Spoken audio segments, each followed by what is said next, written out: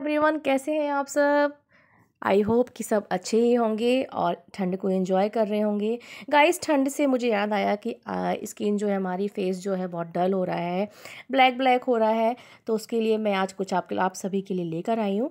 सो so, यहाँ पर जो है मैंने बाउल में लिया है कॉफ़ी एक चम्मच मैंने छोटी सी चम्मच है जो हम बच्चों को लंच बॉक्स में रखते हैं। सो so, उससे मैंने लिया है एक चम्मच भर के ली है। दो बार इसलिए लिया है क्योंकि वो आधा आधा ही आया। और मैंने साथ में लिया है इसमें मिल्क। सो, इसको मैं अच्छे से मिक्स करूँगी। मिक्स करने के बाद इसको मैं रेम, इसको, इस रेमेडी को मैं फेस पे अप्लाई करूँगी।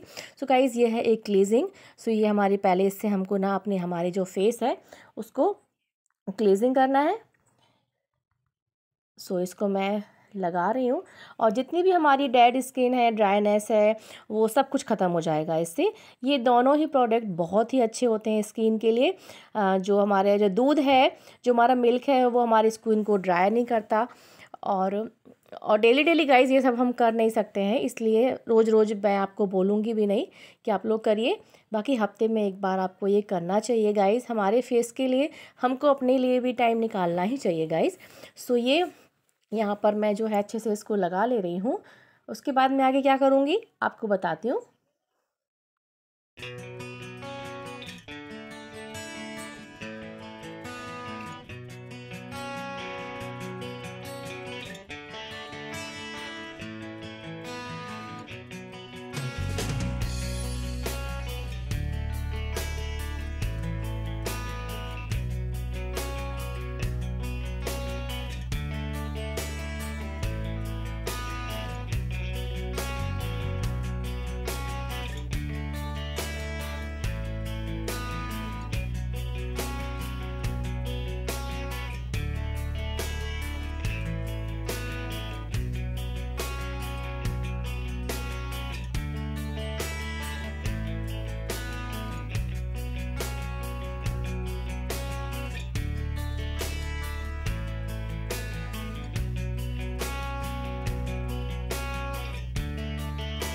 सो so गाइज़ ये मैंने अच्छे से लगा लिया है और इसको ड्राई भी ड्राई करने के लिए छोड़ दिया है। गाइज़ यहाँ पर मेरी फ्रेंड का आ गया था फ़ोन तो मैं उससे बात कर रही थी। वो बोलती जा रही थी मैं केवल हूँ हूँ हूँ हूँ कर रही थी। तो बस ये हो गया है गाइज़ फिर ये ड्राई हो गया है और इसको मैंने हल्का सा बॉम वाटर में आ, वो डिप करके और इसको जो नैपकिन है इसको डिप करके मैंने अच्छे से क्लीनिंग कर लिया है। और क्लीजिंग करने के बाद आप देखिएगा क्या फेस पे डिफरेंस आने वाला है।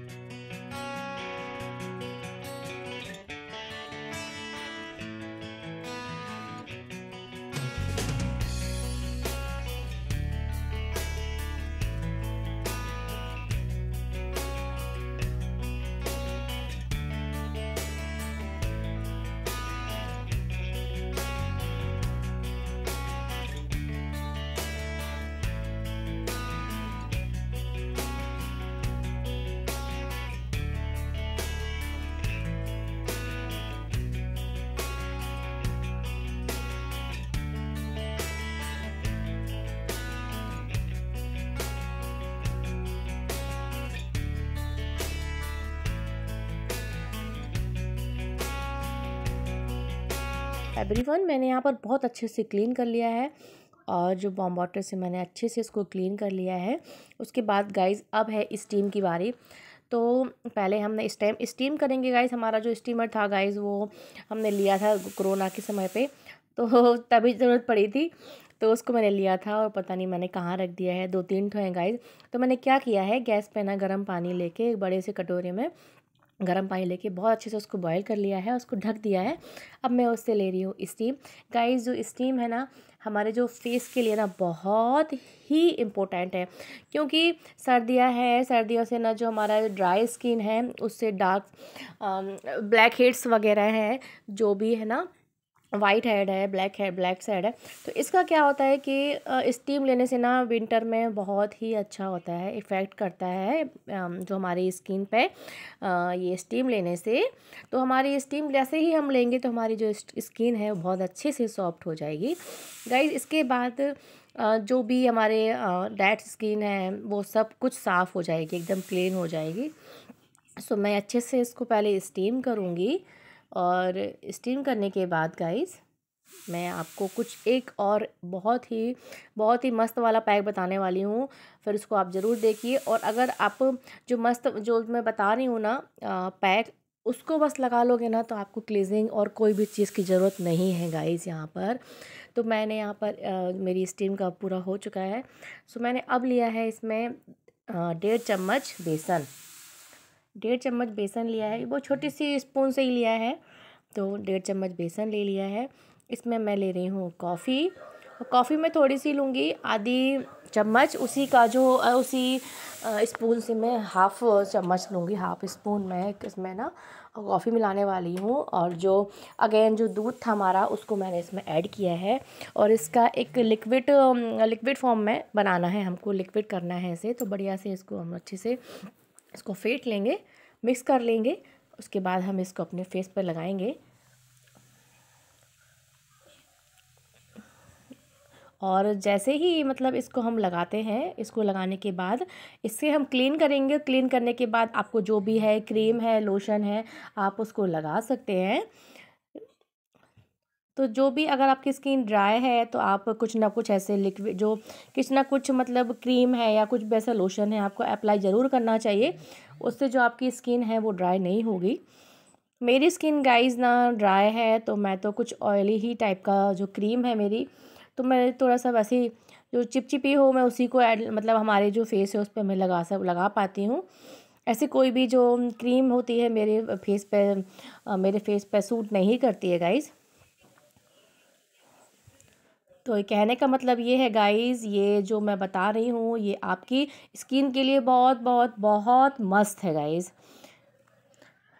तो आपकी जो स्किन है वो नीट एंड क्लीन रहेगी और, खैर, उसके बाद जो है, आप इसको अच्छे से फेस पे लगा लीजिए।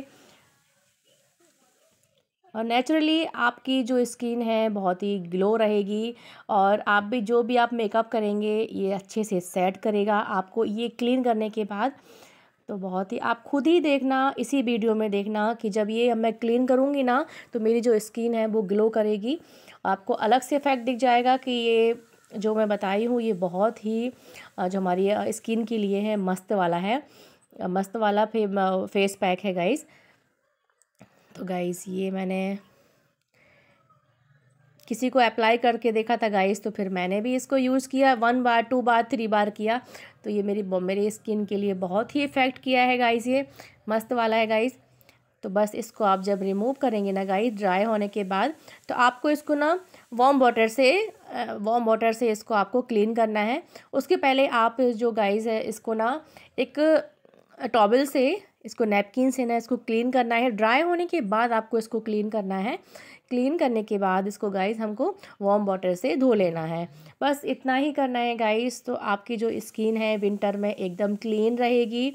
हमारी जो स्किन है, बहुत ही मस्त दिखेगी और क्लीन दिखेगी नीट एंड क्लीन जो भी हमारे ब्लैक हेड्स वगैरह हैं, वो भी बहुत अच्छा है। तो आई होप आपको ये जो हमारा वीडियो है, पसंद आया होगा। तो अभी मैं आपको दिखाऊँगी इसके बाद ड्राई हो ये एकदम से ड्राई हो चुका है गाइस बहुत ही ज़्यादा एकदम सूख गया है। ये दस, पंद्रह पंद्रह, बीस मिनट में एकदम से ड्राई हो चुका था।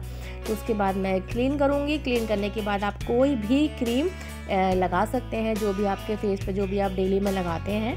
तो आप उसको इस पर हमारे, अपने चेहरे पे लगा सकते हैं। तो उससे आपकी जो स्किन है, वो बहुत ही चमकती हुई दिखेगी। अभी आप देखिएगा। खुद आप देख के आपको समझ में आ जाएगा।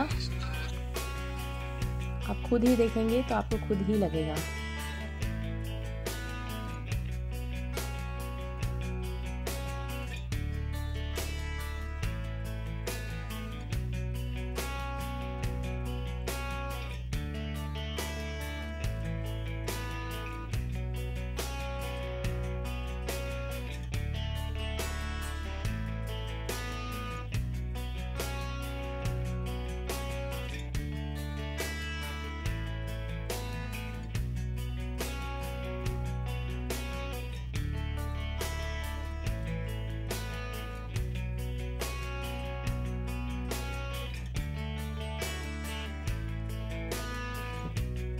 गाइस आप देख सकते हैं, यहाँ पर मैंने अच्छे से क्लीन कर लिया है और मेरे फेस पे जो ग्लो है, आप देख सकते हैं कितना अच्छा आया है। उसके बाद आप जो भी क्रीम लगाते हो लोशन लगाते हो, उसको लगा लें। सो गाइज़ आई होप आपको ये वीडियो समझ में आई होगी। गाइज़ मुझे उतना अभी एक्सपीरियंस नहीं है बोलने का, बताने का। सो so गाइज़ धीरे धीरे मैं सीखूँगी मतलब आ रहा है जो भी है। आप लोग समझ सकते हैं। तो गाइज़ मिलती हूँ आपको नेक्स्ट ब्लॉग में। तब तक के लिए बाय वीडियो को लाइक करना शेयर